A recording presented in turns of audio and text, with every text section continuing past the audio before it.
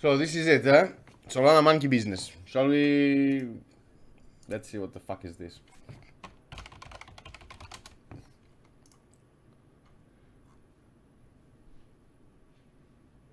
Where is the minting? I see 5,000 left. Oh no. And it costs 2 Solana, so I'll pay 60 dollars almost.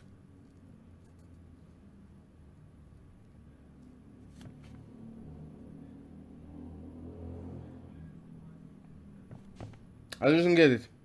I'm confused. I'll, I'll mint one for the lols.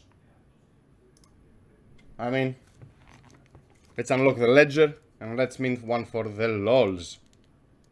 And it's funny because you see me here shitting on the NFTs, shitting on everything, and here I am spending 2 Solana to buy this. Uh, oh my god, let's mint this fucking thing, see what it is. Why do I dislike NFTs so much? Uh, man, I just don't see the uniqueness in it. I, I especially those generative NFTs. Uh, it feels that because everybody's so unique, nobody's unique, and uh, it just feels that uh, you're. I just don't see it. I don't know. Maybe you tell me. Why do you think the the, the, the Solana monkey business is a good buy? Where is it? How do we see it? Like, so I got I got a monkey now. It's a very generic monkey. I don't like the monkey. It feels like it's uh, never going to be sold for more than 0.2 Solana. Uh, right?